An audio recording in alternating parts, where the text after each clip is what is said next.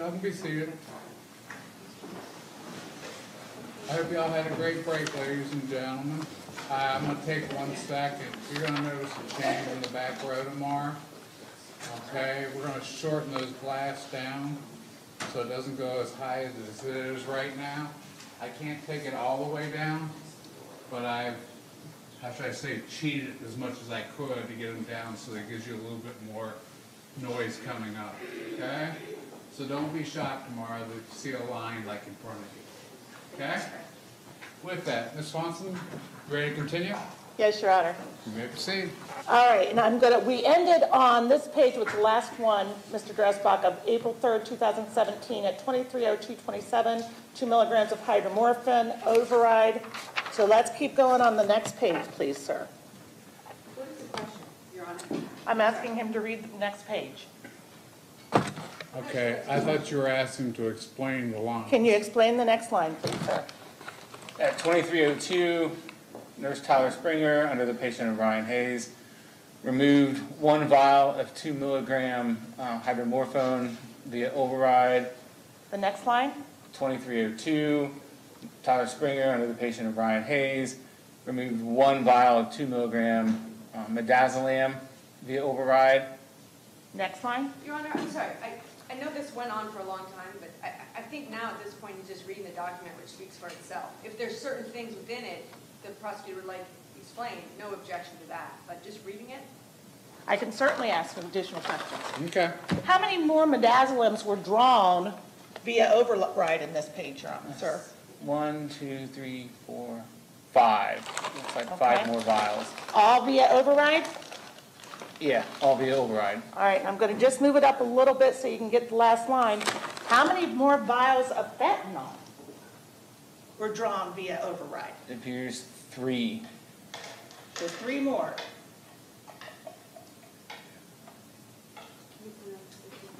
Okay?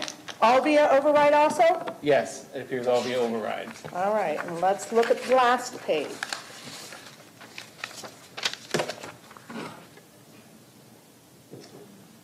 How many more vials of fentanyl?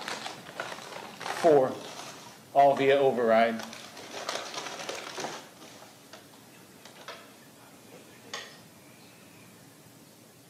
And what times were those vials of fentanyl pulled? Those, all four appear to have been pulled at 2305. All right, now I'm going to go back just briefly. So this is what you said your order consisted of, these 10 vials. 10 vials, correct, These 10 vials were, you did not see. correct. All right. So that okay, would have, hold on. Just for the record, there are ten of the, initially there were ten up and then they added the additional, I can't count it from here the way it's 10, Your here. Honor. Ten more vials that were previously introduced uh, for demonstrative purposes. Okay? So that make would- it Record, because they don't yes, know. What's- I apologize. Thank you very much. All right, so going back to States Exhibit 2C regarding what patient, sir? Ryan Hayes, All right. I'm going to talk about this last order on this page. okay. What time and date was it placed? Uh, This bottom order was placed at 2315 on April 3rd, 2017. All right. For how much fentanyl? Uh, 1,000 micrograms. And just going down to the pharmacist, that's not you. The pharmacist, no, that is not me. Doctor who placed it? Dr. Husel. All right, so that would be those other 10 vials of fentanyl. Yes.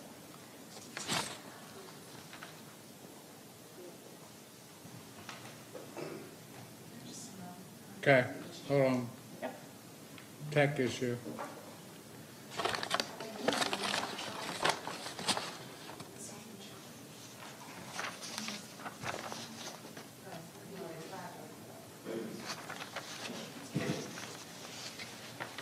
They have all this wonderful technology, but the batteries are still the same problem. So. How are we doing there, Madam Court Reporter? You, is, is it working? Oh, you don't have it in your ear? No. Okay. Okay, you may continue now. All right, Mr. Dresbach, you retrospectively verified these 10 vials of fentanyl, plus the five of hydromorphine and five of midazolam. Correct. Why didn't you bring that to anybody's attention at that time in April of 17? Because I, if I remember correctly, this was the first time I had encountered the one thousand microgram dose. And my initial thought was that someone had accidentally put a zero in too many, so instead of one hundred, instead of thousand. And I had called and spoke to, I don't know if it was the nurse that put the order in or, or removed it, but just asked them to change the order because my assumption was they had put too many zeros in. And they said, no, that that was the correct amount, that they had already pulled and given that medication because they were working on the patient in the room. And then I just verified that indeed, like, Dr. Houston was aware that that was the amount that was pulled and given, and they said yes. Were you advised it was for a palliative withdrawal at that time? No, not at that time. If you had been, would that have concerned you? It would have been concerning, yes. Now, come Rebecca Walls, the order was for 10 bottles, 10 vials of fentanyl, 1,000 micrograms. Correct. Plus the, I want to say, hydro, am I correct, midazolam? Yes. You did move that up the chain. Tell us what led to that decision. Well, again, after the incident that um, happened in October, uh, we were advised to watch for those and escalate them up the chain if we encounter them.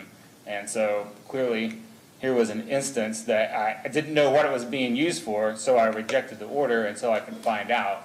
Then the order gets administered and completed, and then if you go into the chart, I could see a note in there that the, there was a plan for a palliative extubation at this point, but it wasn't necessarily documented if it had happened yet or not. Um, so that's when my assumption was that's what it was used for. Um, ultimately, even beyond that, I was concerned about the fact that people were overriding at one time such high doses, and then on top of it, one person was removing them and another person was apparently giving them. Now, you're talking, you've talked a few times about this October incident. Tell us what that, what you know about that. So it was in late October. Um, I was working with the other pharmacist who was Talon at the time. Okay. And And he- Talon, Talon, what's his last name? Schroyer. Okay, go Schroyer. ahead. Um, he received a phone call, and I have no idea about what time it was, but, um, I wasn't on the phone call. I could just hear his end of the conversation. And he sounded like concerned and was asking some clarifying questions about doses and all. Anyhow, when he hung up, he had said that they had Your Honor, pulled. as to what he said. Okay. What was your understanding of the situation at that time? That a large number of narcotic vials had been removed from Pyxis and administered to a patient, and there appeared to be no corresponding order. Okay. And did, from that, was that where the order came, or the instructions came for you to move any other type of orders up the chain of command? Yes, And that's why you did that along with your concerns? yes, Was that the, was this, and I'm going to show you States Exhibit 20A, email November 19th, 2018, was that the last email you had sent out with concerns about this? no, it was not. What happened next? Um, on November twenty-first, I became aware that sometime on, I, I believe November twentieth, on an evening shift, there had been a palliative extubation in the ICU. And again, they had withdrawn a large number of fentanyl vials out for that palliative extubation. All right, now you indicated you became aware. How did you become aware of this? I received a phone call from a nurse uh, in the ICU that they couldn't obtain fentanyl from the Pyxis machine that they were nearest. So I advised them to go to the other machine until I could find a technician that was free to refill the machine. And they said, no, both machines are out. They have done, they did a palliative. Objection, Your Honor, is hearsay. Your Honor, it's not being offered for the truth of the matter asserted, only to show what he did next. I'll permit it for that purpose. Ladies and gentlemen, you're only to consider as to why he did something. As to the statement, whether it's true or not, you can't consider that here, okay? Okay, so go on, just finish what they were telling you and what you did next. She advised me, let's- Let's, I'm sorry. you walk right back to where we were a minute ago. Let's Okay. start- uh, re-ask the question. excuse me, um, you told them to go, you told the nurse to go get the rest of it, get it from the other Pyxis machine, and they said they couldn't. What was the rest of that conversation? that both machines were now depleted because they had been used on a patient earlier in the evening. Okay, what did you do from there, sir? So from there, I had suspected, I knew who the patient might be because I had a, a pneumatic tube that came down. Okay. Uh, That's how we deliver drugs throughout the hospital. Okay, That was full of medications for this patient and the patient was expired. So I just asked, was it this particular patient? And they said yes. Objection, Your Honor. Hearsay. again, just being offered to show what he did next, Your Honor. For that purpose, it'll be omitted. Okay, they said yes, what happened next? So I went into that patient's profile to see what was ordered and what had been administered. And that's when I found that, I believe it was two thousand mics of fentanyl and I'm, I'm not sure how much Versed may have been on, it, had been pulled and administered to that patient. So 2,000 mics, again, would be 20 vials of fentanyl. Yes, of those vials, yes. So again, we have 20 vials up here. All right, and what was this patient's name, sir? Um, the last name was Penix, I don't recall the first name. Melissa Penix, sound familiar? Melissa Penix does sound familiar. Okay, what did you do from there? Uh, From there, I gathered the same information I'd gathered um, two nights before on the Rebecca Walls. So the nurse involved, Times meds were pulled, uh, Times meds were administered, and I essentially copied my previous email and amended what information needed to be amended. So no longer referred to Rebecca Walls, but re- referred to Melissa Penix, and then sent that email to Randy. All right. And I'm going to show you what's been marked for identification as States Exhibit 20B. Can you please identify that for us, Mr. Dresbach? This is the second email referring to Melissa Penix, And what date did you send that on, sir? November 21st, 2018. And again, this would be the one regarding Melissa Penix and the information you had gathered. Yes.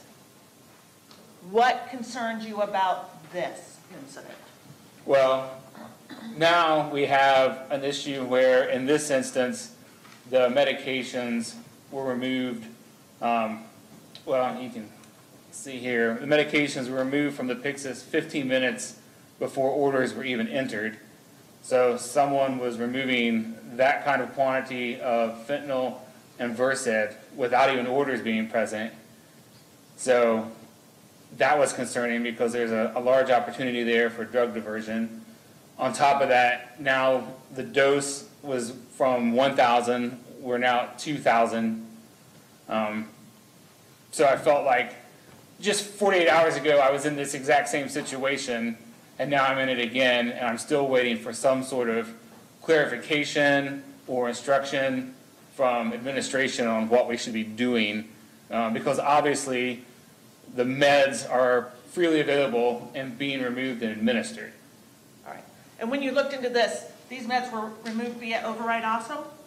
Um, I believe so. Well, if, if they were removed fifteen minutes before orders are even put in, they would have to be. There's no other way to remove meds. And you indicate that in your email?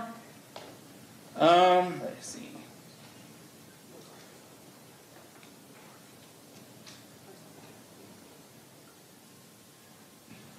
I don't know that I used the word override anywhere. I'm going to direct your attention to about halfway through that paragraph, sir, Uh, where you talk about removed from Pyxis. Okay, well, you- you're compounding a Oh. question there. These meds, I'm sorry, Uh, there it is, I missed it. These meds, um, were removed from Pyxis via the override function at twenty-two twenty-eight and twenty-two thirty for the fentanyl. So again, you send this to Randall Miles? One of the Yes. supervisors, Dr. Miles? Yes, And he at least appears, looks like he passed it up the chain of command. um, From here, I don't know if he passed it up. It looks like he sent it to our clinical coordinator, Okay, Sarah. All right. Um, 20B, true and accurate copy of that email, Yes, kept in the normal course of your business? yes. Mr. Dresbach, at any time were you placed on administrative leave during this process? I was. Tell us about that. I was placed on administrative leave, I believe it was March thirteenth, two thousand nineteen, and I was on administrative leave until November thirteenth, two thousand nineteen. Were you provided any reason for that? Uh, just that, Your Honor. Sorry, sorry, trying to do two things at one time. Uh, call for hearsay, if he knows, why were you terminated? Do you know why you were terminated? You weren't terminated. I wasn't terminated. Not terminated. Administrative. Amended. not a specific reason, no. And you were ultimately brought back? Did you ever have to talk to a pharmacy board investigator? I did. Did anything happen with that? As far as my license? Correct. No, So you've maintained your employment and no issues with your licensure? correct.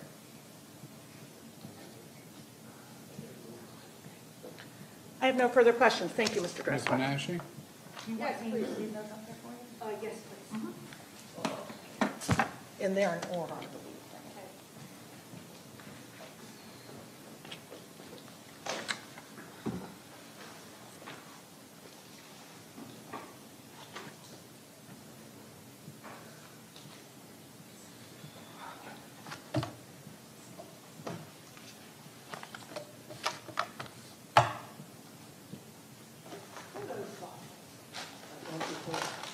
Yeah, those are, yep.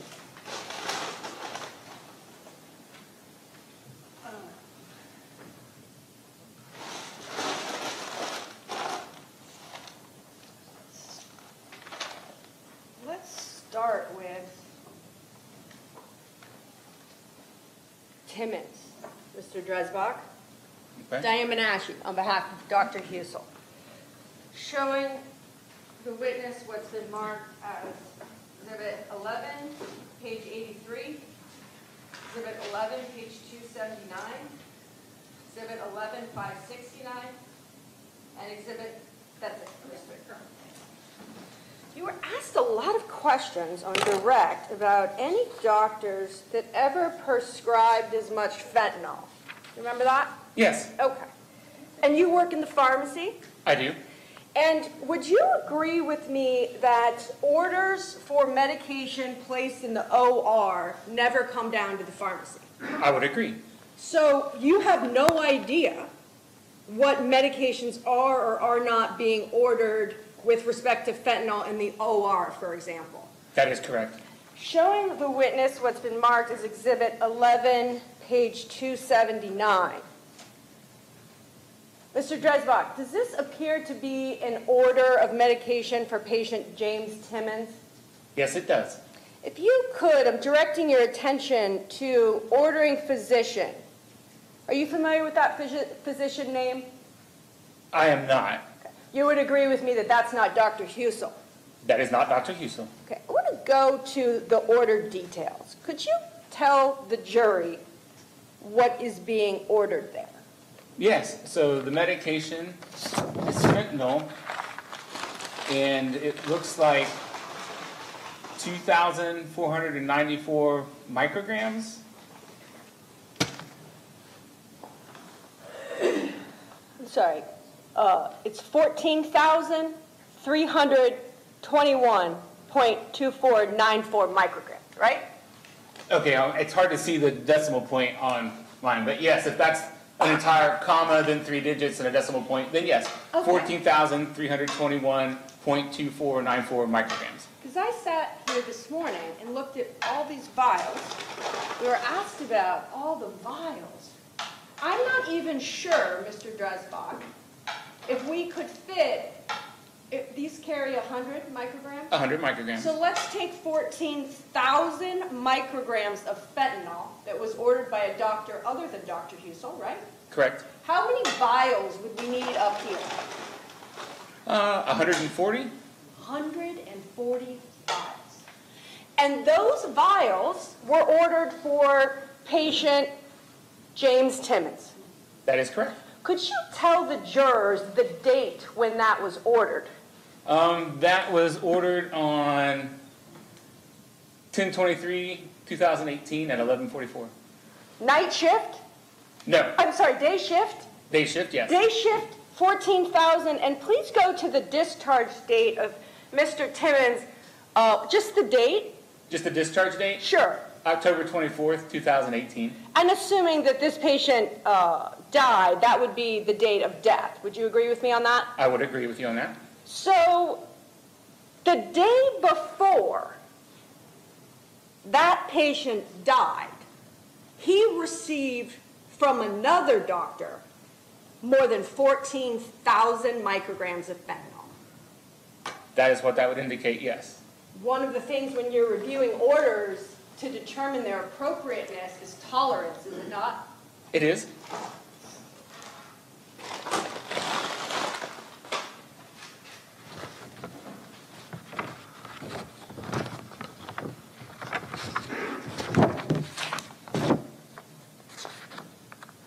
So let's talk about James Timmons.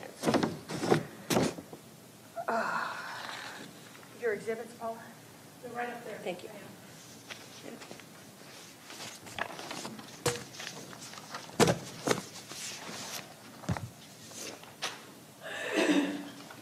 Showing the witness what's been marked as States Exhibit 11C, we know that James received 14,000 micrograms of fentanyl the day before he died from a different doctor, right? Correct. Okay. And you were asked, you weren't asked about that on direct, is that right? That's correct. But you were asked about this order of fentanyl right here. Um, Do you recall this? Yes, Okay. And this order is on 1022. Would you agree with me on that? that's when the order was placed, yes. Yeah, for, for the, for, and how many, tell the jurors how many uh, micrograms that's for, 100, okay? Then let's, and, and the doctor ordering that, Dr. Husel, so just 100 micrograms. just 100 micrograms. And you were asked about this word discontinue. Correct? Isn't it true, though, Mr. Dreisbach, that when someone dies, medications are marked as discontinued? Yes, So let's go to the second page of States Exhibit 11C. When you were asked about, actually, before we do, just want to make sure. The date on the 11, or the 100 micrograms is 10/22/2018? yes, And the date of uh, death or discharge is yes. 10/20? 10/24. So two days later. Two days later. Now that second page, that 2,000 microgram that you were asked about, right? Yes. Tell the jurors, what date is that order? Order date is October 23rd, 2018. And the time?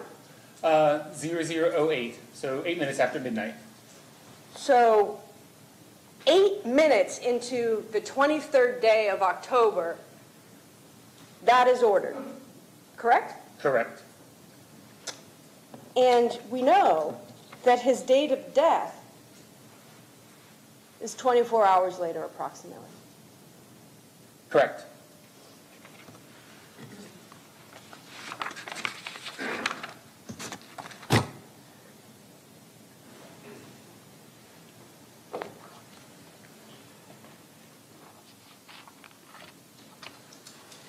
Also want to go back to this order, States Exhibit 11C. Again, ordering physician Dr. Husel, is a titration. Yes, So sometimes the order is calling for a push, and sometimes it's calling for a titration from Dr. Husel. this order would just be for titrations. So it's an infusion. They can titrate the rate of that infusion. Um, Right, the- no, which, which, which speaks right there in all caps. That- Oh, sorry, this is my copy. Speaks here in, in all caps. It says titration dose. Would you agree with me on that? Yes, Okay. And that was for the 2,000 that you were questioned about on your direct examination. correct. And it appears that patient lived for a whole nother day. Correct.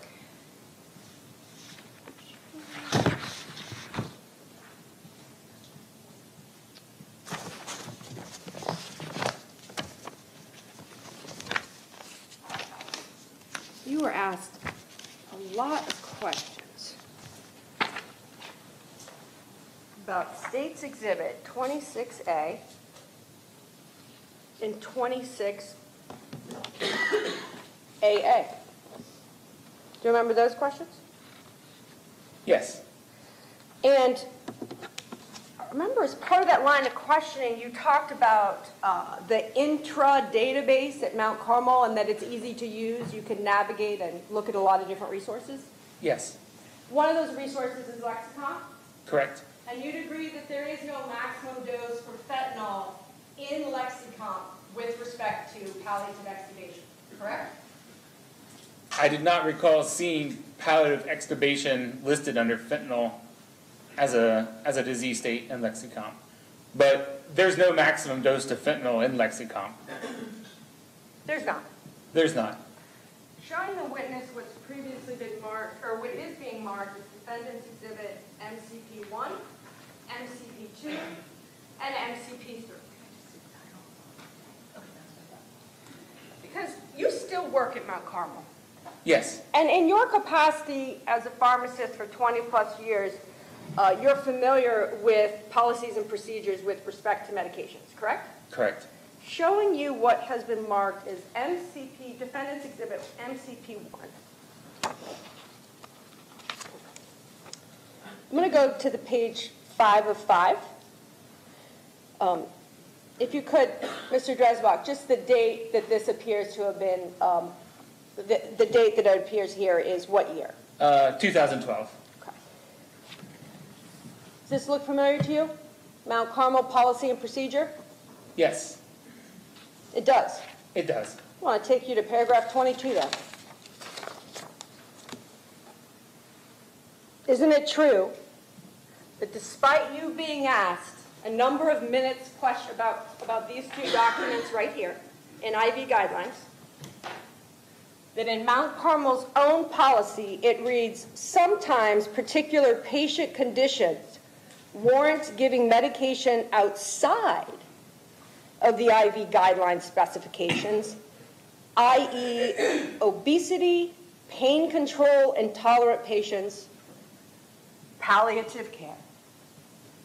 Reads Yes. that. So Mount Carmel's own policy and procedures say, sometimes these don't matter. And one of those times is palliative care. Correct. Not just the 2012 guidelines says that, wouldn't you agree that in fact, the updated version of that same policy and procedure, what date does appear to be on uh, this document? July 28th, 2017. Does this, again, uh, just generally look familiar to you as to Mount Carmel policy and procedures with respect to medical administration and self-administration guidelines? It does look familiar. MCP 2. This time, though, directing your attention, paragraph 23 again, but it's oriented in a different part of the guidelines. Same language, right, Mr. Dresbach? Sometimes pa- particular patient conditions warrant giving medications outside of the IV guideline specifications, i.e. obesity, pain control, intolerant patients, and palliative care. Right? Correct. And then it goes on to say that if the medication written is outside the IV guidelines, go to things like Lexicomp for guidance. Right? Yes. But you just testified and told the jury that Lexicomp doesn't include a maximum dosage with respect to care. No, it does not have a maximum dosage.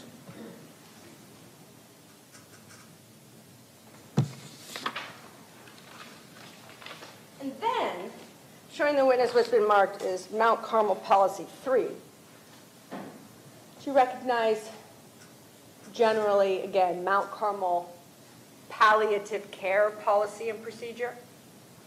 Yes. palliative ventilator withdrawal. And that's what we're talking about in this case, right? Correct. All these cases. Directing your attention to number two. Appears to say, does it not, symptom management medications will be ordered as medically indicated. It does. Doesn't say in compliance with IV guidelines. No.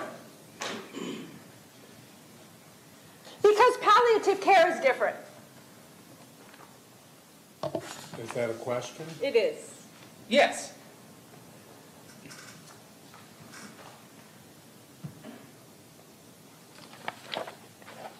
You talked a lot about overrides.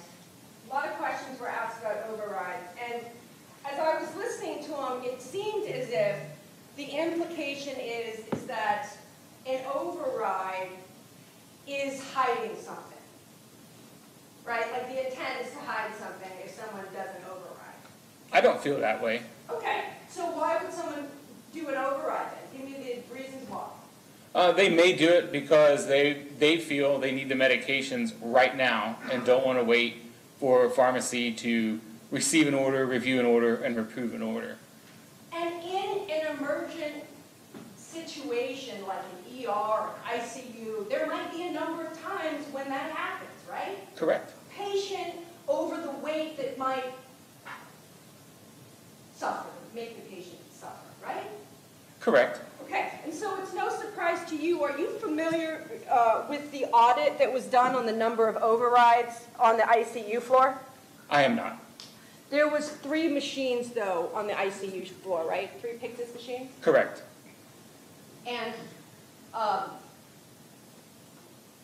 overrides, then, based on your testimony, are, are for like emergency situations. Correct. When someone feels that, that there isn't time to wait, is that fair to say? When a patient's life is in danger for delay of therapy. Yes. So that,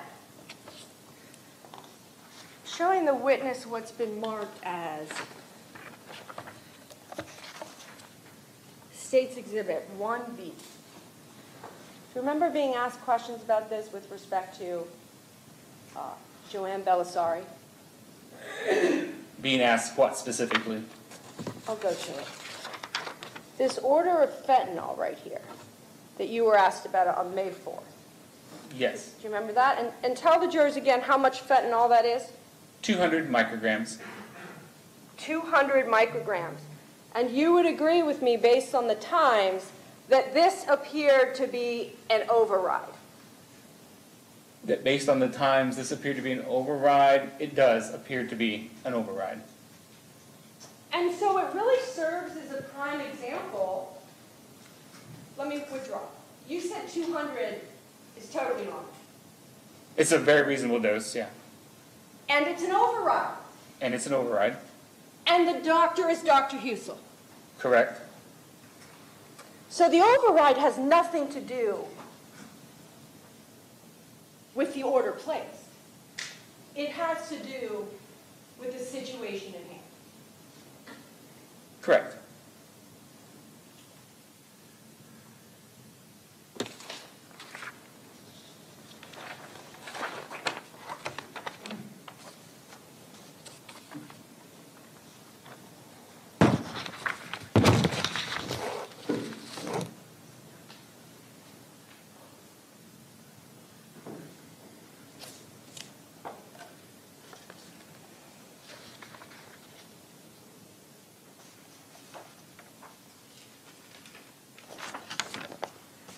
To talk to you now about Ryan Hayes. Just give me a second.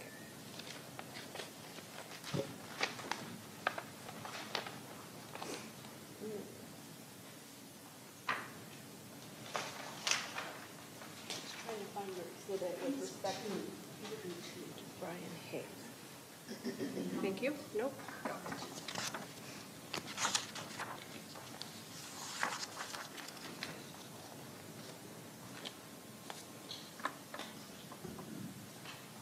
Showing you what's been marked as States Exhibit 2C. Ryan Hayes is the uh, I'm just going to generally describe it, is the patient that during your direct examination, there was the 10 vials and the 10 vials, right? Correct. And you just testified that an override is for an emergency situation. Correct. Would you agree with me?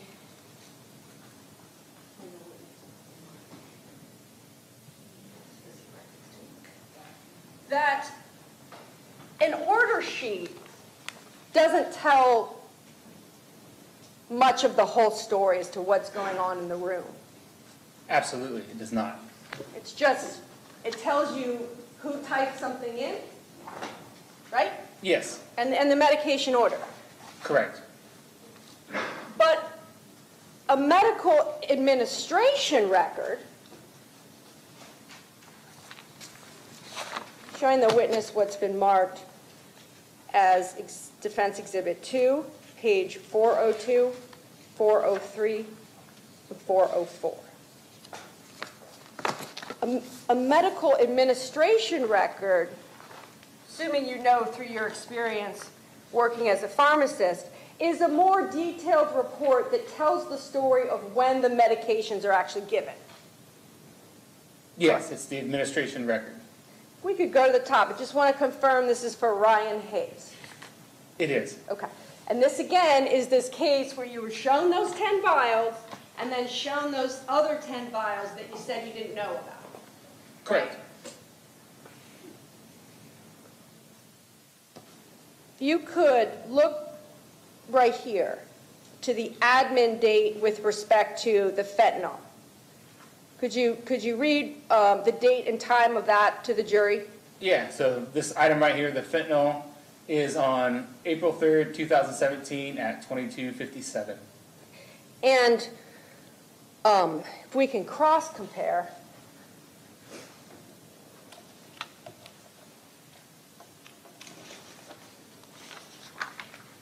how many micrograms is that for? Uh, It is for 1,000. And referring you back to the order sheet for Ryan Hayes, fair to say that order for the initial 1,000 was put in as routine.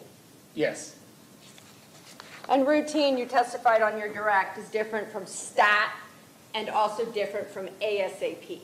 correct. Routine, withdraw. So let's go back to this. So the first 1,000 was given at 4/3/2257. Correct. Do you agree with me that the pain score is noted as 10? It is. And then 2257, it appears that what drug was administered? At 2257, hydromorphone, 10, 10 milligrams? 10 milligrams. Same time, what other medication is, um, is given? Midazolam, 10 milligrams. So that 1,000 plus those other medications that you just named were all given, right, within basically the same time? That is what that would indicate. Yeah. And the record indicates pain scores 10. Correct. Let's go right down here to the next time you see fentanyl. Tell the jurors what's the date on that The date down here is April 3rd, 2017. and the time? The time is 2312. How many minutes after the first 1,000 was given is that?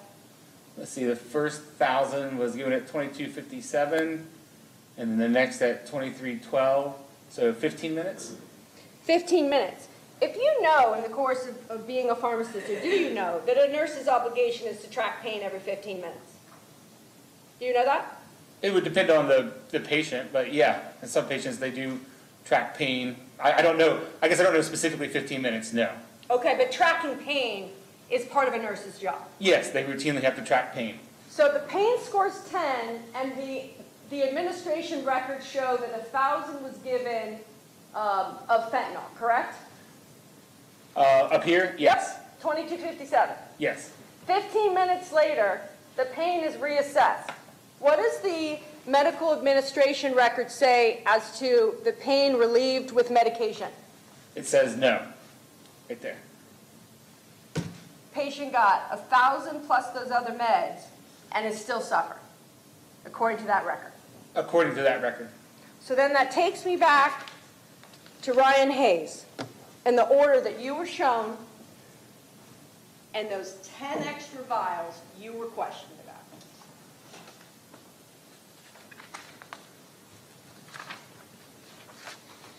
Because isn't it true that the second order of fentanyl for those thousand, what does it say right here? Stat, Are you familiar with the bad death? the bad death. I've heard the term, but I can't say I'm exclusively familiar with it, no. What does it generally mean to you in your experience as a pharmacist? Okay, sustained, let's rephrase. You're familiar with palliative extubations generally in that process, I would assume? Yes, And um, in that type of uh, extubation, things can go wrong.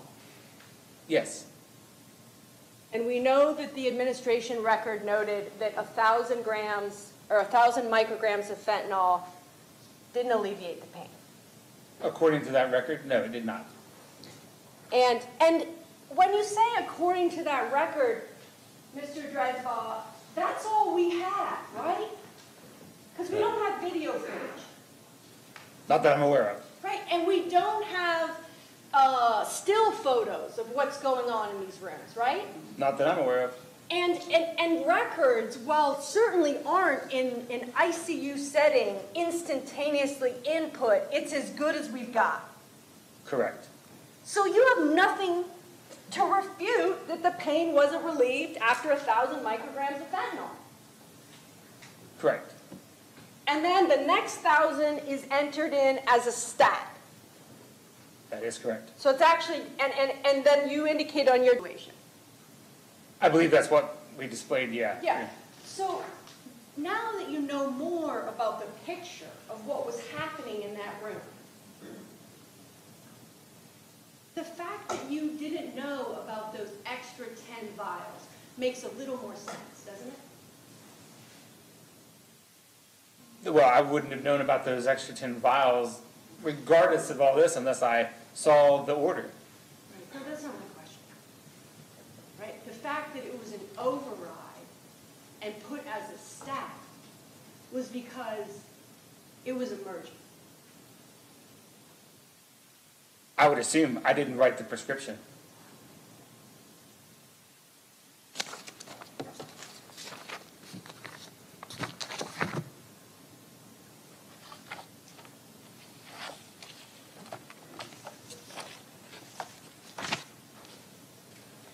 You were asked a lot of questions about States Exhibit 24M and 24B.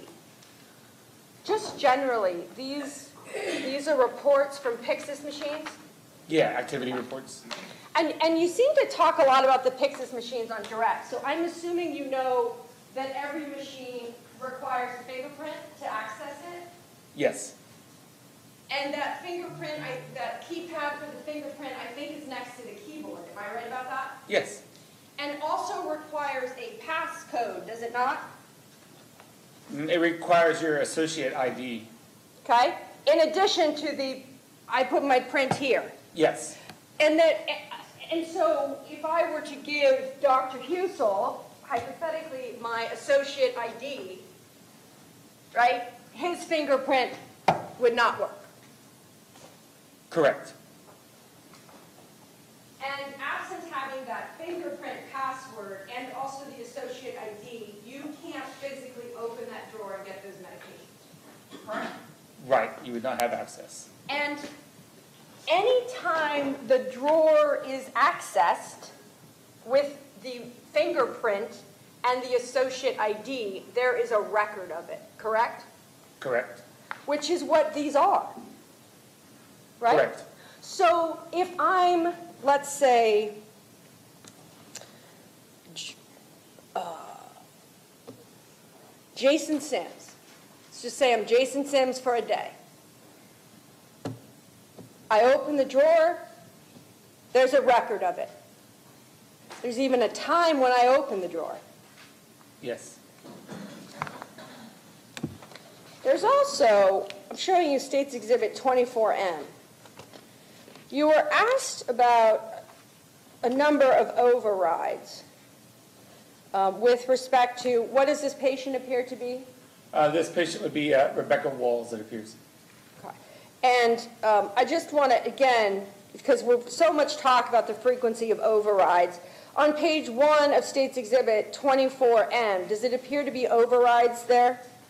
There do appear to be a few, yes. And what about on uh, patient two of Rebecca Wall's uh, Pyxis report? Yes, there are overrides there.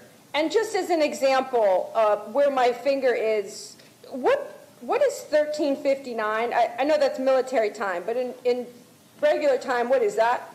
1:59 PM in the afternoon. So that's day shift. That would be day shift. Okay, so overrides aren't, aren't exclusive to night shift. They are not.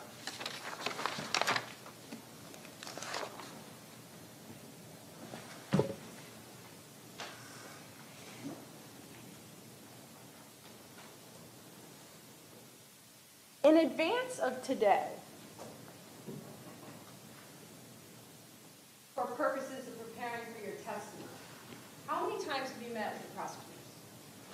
Twice. And uh, when, when were those dates? One was October of last year, I don't remember the specific date, and the other was February 7th? Yes, February 7th. And was your attorney there with you when you met with them? Yes, And um, you currently still work at Mount Carmel? I do. So you weren't one of the employees that was laid off? I was put on leave for eight months. Right, but you weren't terminated? I was not terminated. And wasn't your leave paid? Yes,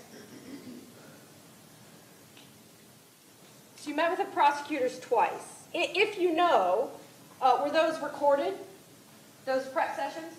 I honestly don't know. How long, the first session last year that you met with the prosecutors, how long was that meeting? Two and a half hours, approximately? And how long was the meeting um, in February, this month? Around two hours. And have there also been emails uh, that the prosecution has sent you, or do they send those to your attorney if you know? They send those to my attorney. And in those communications co- and conversations, Uh, They've let you know that while you've been subpoenaed and you're a state's witness, they don't intend to prosecute you. I don't think I've ever received anything that stated that. That's certainly your understanding, is it not? I have not been granted immunity in any form that I know of. Okay, and so it's your testimony that you never received anything from your attorney that indicates that you won't be prosecuted if you, if you tell the truth, No. okay? So let's talk about the other interviews you, you've given in addition to the prosecutors, the time with the prosecutors. You gave um, an HR interview, Correct? and you gave an interview with Columbus Police Department, Correct? and any other interviews I'm forgetting about? Um, with the uh, investigators from the Board of Pharmacy. Ah, right, investigators of the Board of Pharmacy. So I want to talk about the HR interview, because as I heard your testimony on direct, was that with respect to um, Ryan Hayes, you called down there, down, or I'm sorry, you called up. Up to the ICU. you called up to the ICU, and you testified today under oath that um, you called once and nobody answered? No, not for Ryan Hayes. For Ryan Hayes, I got an answer. I'm sorry, was it Walls? It was Walls. Forgive me. So Rebecca Walls, you called once, and what happened? No answer. And then you told this jury you called twice. I called the back number to the ICU, yes. What's the back number? The ICU is large, so it has a front section and a back section, and they had two different phone numbers. So there's actually multiple ways that if you want to get a hold of someone in the ICU, you can, Yes, at any given time, right? at any given time, yes. And you, assuming, um, to refresh your recollection for today's testimony, did the prosecutors ask you, or did you review the notes from your human resources interview? I did not. Do you remember then that actually, uh, in your human resources interview, you talked about, you, you were asked about why in the medical record did you type into the medical record with respect to Rebecca Walls, discussed with provider? I don't believe that was typed in. That is an option when you get an alert for a dose that's outside of range, and you have to go past that, and you have a few options to list. The default is discussed with provider. It, it can't be your testimony that to get to another screen, you have to click that you discussed with provider. Yes, there was an option on there that would say, discussed with provider. Why then, during your HR interview, would you be questioned about that not being true? They may not have seen any documentation that backed up the discussed with provider. Oh, so, because there is a comment section, right? There is a comment section. And so if it's a box you had to check, and you knew checking that box was a lie, there was a comment Okay. section, Your Honor? There- Sustained. Okay, so there's a comment section. Okay, ladies and gentlemen, disregard the question, new question. In the comment section, in Rebecca Wall, you never put, I did not, that, that you checked the box, and that that's not true. Right? Could you repeat the question? Sure, you check the box that says discuss with provider. It's pre-checked. That is the first option when you're going through an order. You, you, if there's an order that has, if I remember correct, because we don't use Cerner now, there are options when you have an order that's outside of the standard dosage range. And the first one says discussed with provider, and that's what it defaults to and is pre-checked. Okay, so let me ask you this then. This, the testimony about, um, the call for the allergies, did you put that in the comment section? I don't recall any testimony about allergies. I'm sorry, that you were called to the ER? No, I didn't document that. You didn't, in the comment, you didn't put that in the comment section? No, I put that in the email I sent to Randy. The email you sent to Brandy isn't a medical record. You would agree with that? Correct. And in your role as a pharmacist, you know the importance of the medical record, do you not? I do. You know that absent the medical record and video footage of what's going on, right? That you don't know what's happening or what more importantly has happened, right? Correct. I want to just go through a few things during your CPD interview. Would you agree with me that the interview you gave with the Columbus Police Department was your first interview or second? I believe it may have been the first. Okay, and that interview, if it was the first, does uh, December 10th of 2018 sound familiar to you as a date? Yes, that would be correct. During that interview, um, the detectives didn't have any patient medical records. Is that true? That is true. They were just questioning you about dosages and dates. Correct. And even for the best of us, it's hard to remember doses and dates without complete medical records to review. Correct. You were asked, were you not, a lot of questions about Dr. Husel and his dosing habits. You remember generally being asked about those? Yes. And then you were asked about your thoughts on those dosing habits with respect to fentanyl. You remember being asked about that? Yes. And, um, and you talked about how there was no evidence that you knew of in your capacity as a pharmacist working at Mount Carmel, that what he was doing was wrong. Objection, Your Honor, draws, ask for an ultimate conclusion. Okay, let's take a little sidebar here, because I know we're gonna need it here in a second. Talk amongst each other. I don't know what happened to Darcy.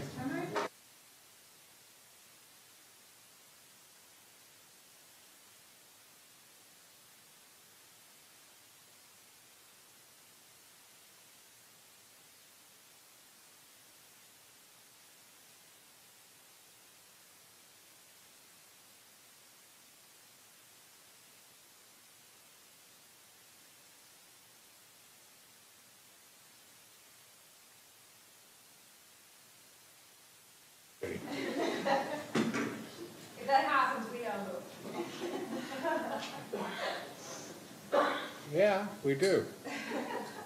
Okay. Mr. Dresser, just returning to that question I, I just asked you. Uh, During your CPD interview, you were asked a number of questions and and what you, uh, as of December tenth, two thousand eight, thought about, um, the dosing habits of Mr. Husel. Remember that line of questioning? Vaguely, yes.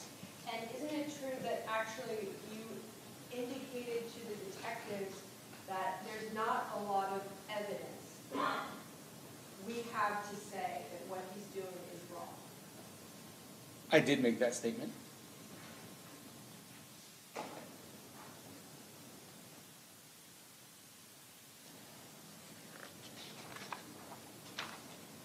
One moment.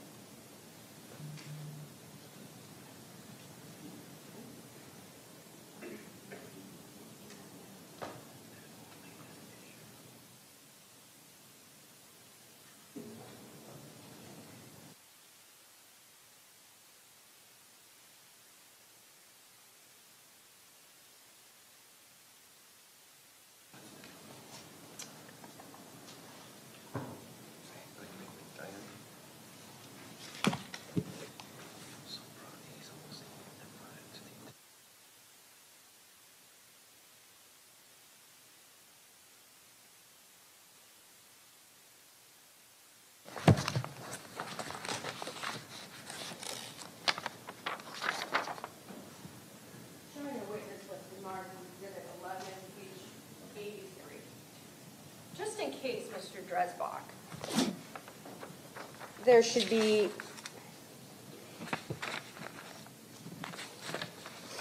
any discussion later.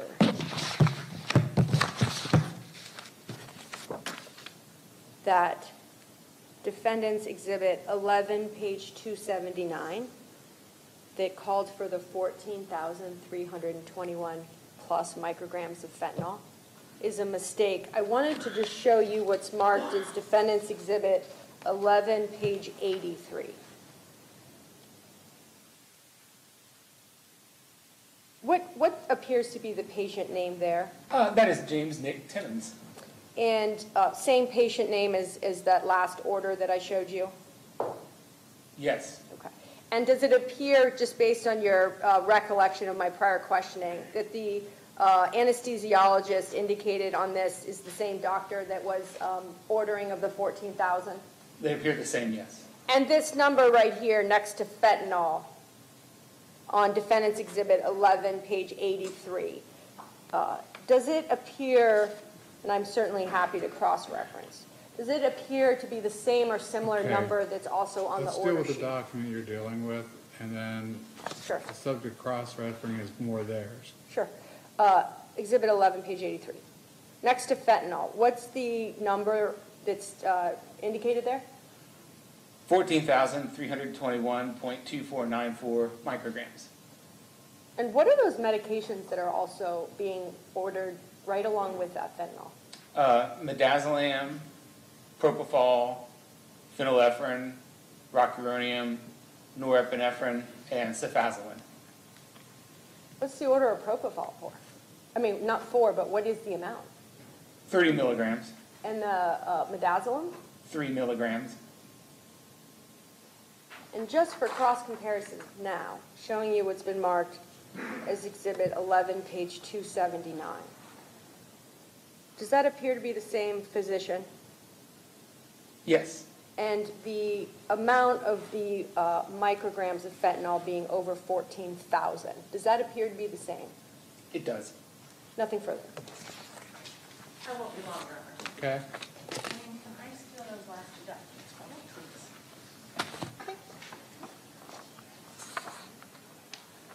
please? Mr. Dresbach, I'm going to put back up what's been marked as Exhibit 11, page 83. This is, what's this at the top? What's this tell us it is? Uh, anesthesia record, date finalized, October 23rd, 2018, 1309, page 1 of 4. And Jack Timmons again, or And James Jack. Timmons. We keep saying Jack. So you got me here. James James Nick Timmons. Timmons, yes. All right, what's going on here? What's this telling you is going on? This appears to be a record of medications administered during surgery. All right. And I see rocuronium again, Yes, a paralytic. paralytic. So safe to assume he's ventilated at this point. Objection as to what All right. assumptions Okay. we made? Would, I can re-answer, ask it, Your Honor. Well, re-ask, don't re-answer. Abs- Re-ask it.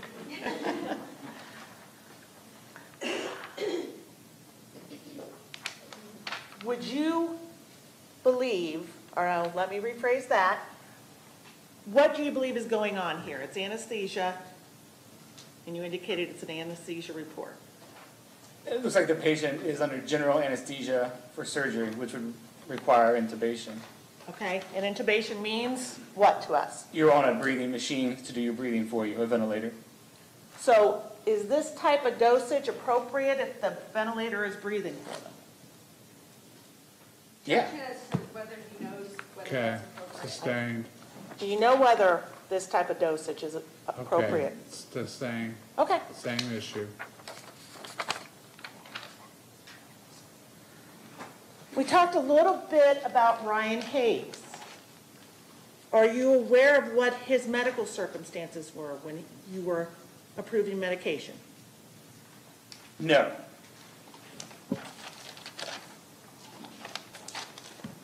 All right, and you indicated there's not a lot of evidence to say what he's doing is wrong. What, did- that's what you told Columbus PD. What did you mean by that? Giving these higher doses than I would typically expect to see in an instance of palliative vent withdrawal. All right, explain that to me. I didn't, Uh, There was a there, with fentanyl in particular, having no dose ceiling, then it's hard to establish any evidence that giving doses like that during the palliative vent withdrawal or the removal of the breathing tube is wrong, and that's based upon what you know in your job as a pharmacist. based on my experience, yes. And that's because, as you stated, there's no maximum dosage for fentanyl, Correct. and that's pursuant to Lexicomp. Right, there's no therapeutic ceiling. What is, if Lexicomp does not have a maximum dosage on it, what then are you supposed to do to determine what an appropriate maximum dosage is? You, Your Honor, I would argue it's a, um, it's, it's beyond his expertise, it's, he's not even tendered as an expert, but I don't think he's qualified to answer the question. Okay, so you're saying it's outside of the scope? Yes. Sustained. Your Honor, I believe she asked. Sustained. Okay, thank you, Your Honor. Are you familiar with a policy at Mount Carmel regarding what to do if there's no maximum dose listed anywhere? I am not. Okay, thank you.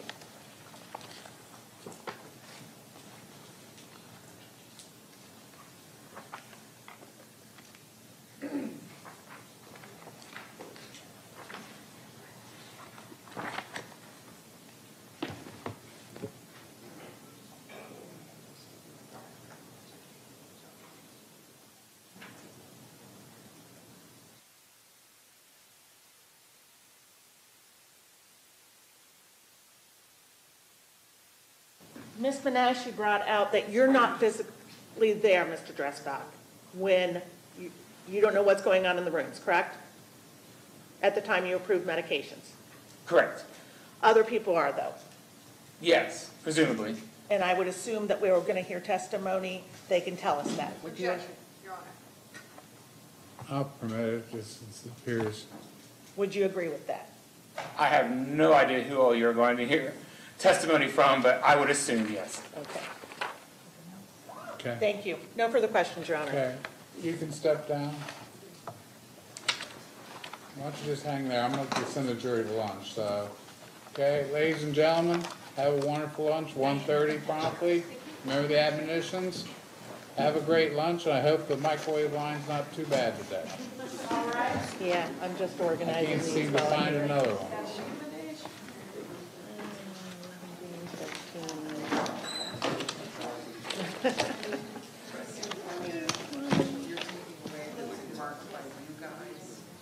Yeah, that's what we're looking at now.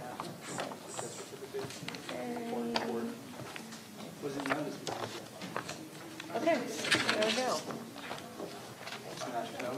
Okay, no, uh, There's ours. Uh, transcript of this. Do you want me to put these back in your book? Yeah, except I don't think I hold that. Yeah. Okay. I was just gonna put on, anything else for the record? Ms. Swanson? Swa- Sawyer, Judge, that Sawyer, I question's not mean. answered. No, there's nothing further, Your Honor, we need from this witness. Ms. Menashe? Diane? Anything more for the record before I close it? No, Your Honor, thank you. Okay. You can step on out. You're excused. Thank you.